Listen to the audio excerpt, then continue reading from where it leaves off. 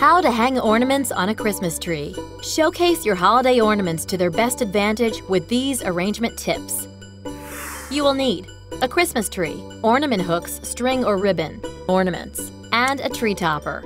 Optional, a green florist wire. Step 1. Make sure you have enough ornament hooks.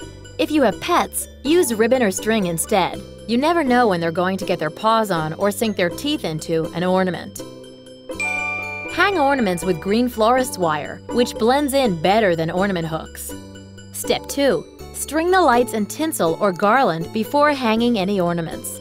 Step 3. Start by hanging sets of matching ornaments so you can disperse them evenly. Step 4. Hang some ornaments close to the tree trunk. They shouldn't all be teetering on the tips of the branches. Step 5. Put the heaviest ornaments on the sturdier inside branches, but don't forget to put some smaller, lighter ones there too, for balance. If you have an ornament that would benefit from backlighting, dangle it near a tree light. Step 6. Protect ornaments with sentimental or monetary value by placing them higher up and deeper inside the tree, where they are less likely to get knocked down. Step 7. After you've hung the last ornament, gently add the tree topper. Step 8. Step back a few feet and study the tree from different angles to see that everything looks balanced. Make adjustments if needed.